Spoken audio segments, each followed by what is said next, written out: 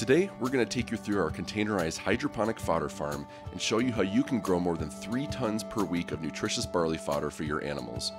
First, we soak 130 pounds of barley seed overnight in our hopper and then drain it into a push cart that's attached to a hose output.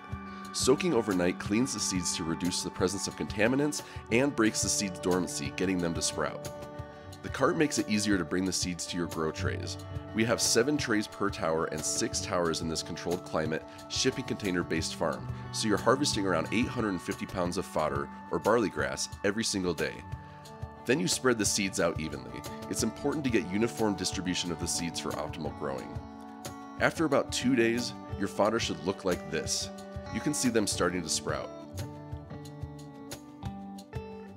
Here's the digital screen that allows you to control the conditions inside using specialized hardware and software from Agrotech. You can set the right temperature, humidity, lighting, and watering, and control the circulation fans. This is what your fodder should look like after 6 to 7 days of growth.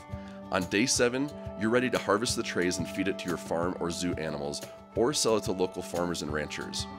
Remember, this is soilless growing, but what's really cool is the roots naturally bind together to create a mat that makes it especially easy to harvest. The entire mat of fodder, roots and all, is edible and highly nutritious. It's packed with protein and improves hydration in your animals, and it gives you control over your feed supply. It takes about two and a half to three hours per day to run your hydroponic fodder farm. You might see a few stray seeds or blades of grass, and it's important to keep your fodder farm clean to reduce the likelihood of contaminants such as mold.